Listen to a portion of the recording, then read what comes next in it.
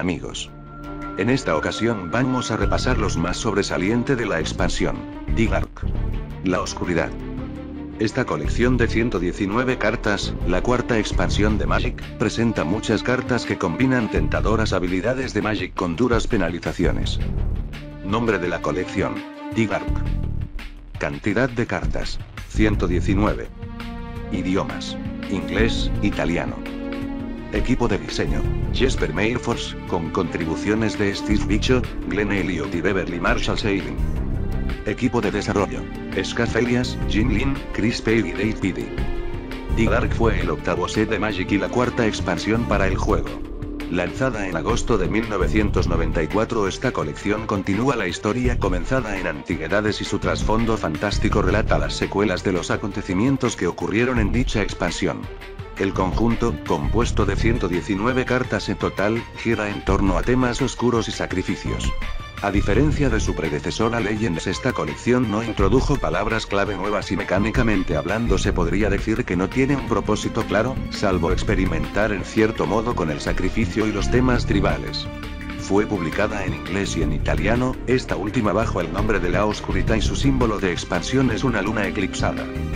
La tirada total de cartas impresas fue de unos 75 millones y en cuanto a la frecuencia de las cartas se retoma el sistema de las primeras colecciones, contando este set con tan solo dos tipos de rarezas, comunes y poco comunes las cuales entre estas últimas algunas se podrían denominar de raras eventualmente estando publicadas en las listas de cartas en su debido momento, como se acostumbraba en esos años. Respecto al diseño de la carta, se utiliza de forma habitual incluir la fecha y logo de copyright del set como se venía haciendo desde la Summer Magic Legends, en la parte inferior izquierda junto al nombre del artista de la ilustración de la carta. La historia de trasfondo fantástico de esta colección fue inicialmente contada de forma exclusiva a través del texto a favor de las propias cartas, hasta que en 1999 apareció la primera novela del ciclo de Ice Age titulada The Gathering Dark escrita por Jeff Grant. Dicho libro cuenta la historia de Yoda y relata también las consecuencias de la guerra entre los hermanos. Una serie de conflictos terminan causando que la mayor parte de los habitantes del continente de Terisia vuelvan a un estado más primitivo y durante ese tiempo varios líderes y héroes notables se levantan en armas.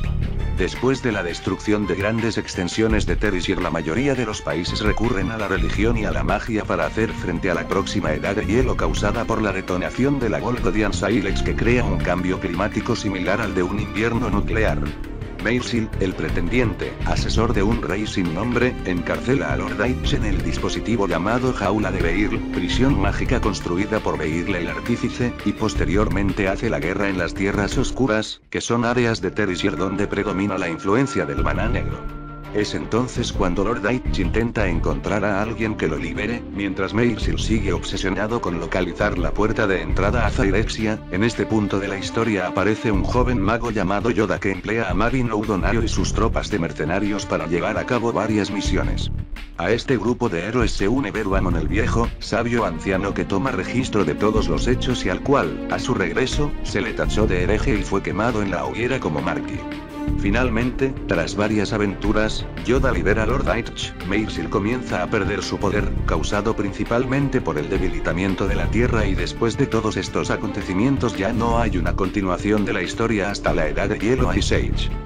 Este sería en resumen lo del trasfondo fantástico de la colección que sirve para entender un poco mejor las caóticas mecánicas de juego de esta expansión.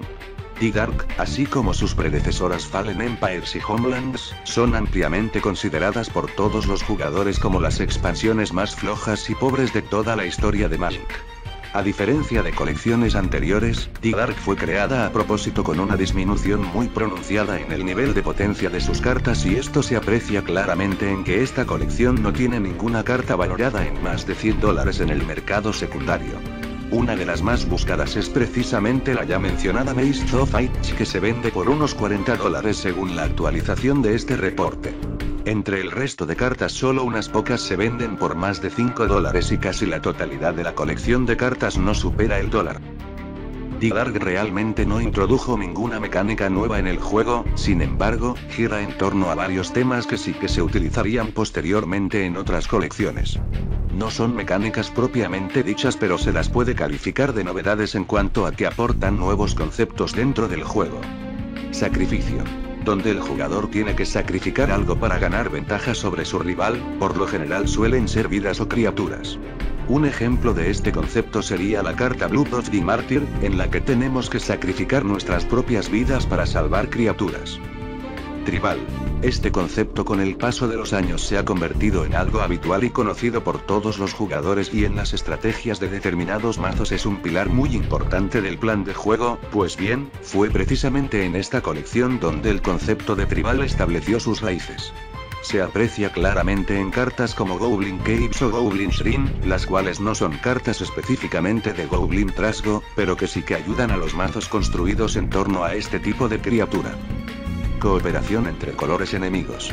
Si se fijan bien en el reverso de las cartas de Magic verán un pentágono con los cinco colores del maná, pues bien, hasta la salida de esta colección, por ejemplo un mago rojo se llevaba de maravilla con sus colores vecinos, el verde y el negro, pero en cambio no hacía muy bien que digamos con el blanco o el azul. Hoy en día estamos habituados a cualquier tipo de mezcla entre los colores y ya nos encontramos con cartas que hacen sinergias de todo tipo, ya sea con colores aliados o enemigos, pero la primera vez que se vio esto en la historia de Magic fue precisamente en The Dark, donde las cartas interactuaron por primera vez y de forma favorable con los colores del enemigo. Un buen ejemplo de esto son los Elves of Deep Shadow, que fue una de las primeras cartas publicadas en las que se pudo ver al color verde haciendo alianza para con el color negro. Aunque la calidad media del set es bastante pobre en líneas generales, sí que contamos en esta colección con unas pocas cartas destacables e históricas, algunas de ellas ampliamente utilizadas en entornos competitivos incluso hasta hoy en día. Bolt Lightning, bola de rayos. Una de las criaturas rojas más emblemáticas de Magic, esta carta ha sido tan popular entre los jugadores que fue reimpresa en cuarta y quinta edición, así como en Magic 2010. Incluso ha servido de inspiración para otras cartas de colecciones posteriores. Blood Moon, Luna de Sangre. Esta fue la primera carta que penalizaba a los jugadores por el uso de tierras no básicas. A lo largo de la historia siempre ha estado presente en mayor o menor medida en multitud de arquetipos, es tal su versatilidad y popularidad que ha tenido que ser reimpresa en varias ocasiones y a fecha de hoy sigue siendo pieza clave en los banquillos de infinidad de mazos, por no decir que algunas estrategias incluso la juegan de base y es la carta principal sobre la que gira todo el plan de juego. Maze of Aitch, Laberinto de Aitch. Esta carta llegó muy rápidamente a la lista de restringidas, incluida la del formato estándar de aquella época, ni qué decir tiene que en formatos como Vintage permanece aún restringida. A pesar de estar entre las cartas de rareza común, es lejos la carta más valiosa de la colección, incluso mucho más que cualquiera de las raras de este mismo set, y solo con contemplar el poder de su efecto nos damos cuenta de por qué, una modesta tierra capaz de parar en seco hasta el más mortífero de las criaturas atacantes con un simple giro, no tiene desperdicio, muchos mazos le han sabido sacar mucho partido a la habilidad de esta tierra. Sarrow's Path, Camino Penumbroso. Ya en la expansión de Legends vimos una carta de pésima calidad y como en esta vida no todos son grandes cartas, en D-Dark también toca ver alguna que otra carta que precisamente ha pasado a la historia por ser malísima, y la verdad es que podríamos poner unas cuantas porque el set cuenta con cartas malas para aburrir. Esta en concreto es ampliamente considerada como una de las peores cartas de tierra jamás impresas, junto con las Banking Lands de Legends girar una tierra para ayudar a las bloqueadoras del rival y de paso hacer dos puntos de daño a nuestras criaturas y a nosotros mismos, una cosa es jugar en modo suicida y otra muy distinta es sencillamente ser tonto. Comparada con Fights la tierra anterior, es como pasar del oro al carbón y sin salir de la misma colección. Bueno hasta aquí lo más destacable por esta colección. Créditos a Wizards of the Coast y a Old Mailing, por los datos publicados en sus sitios web y tomados para hacer estas compilaciones informativas. En el próximo vídeo, veremos lo más destacable de Fallen Empires.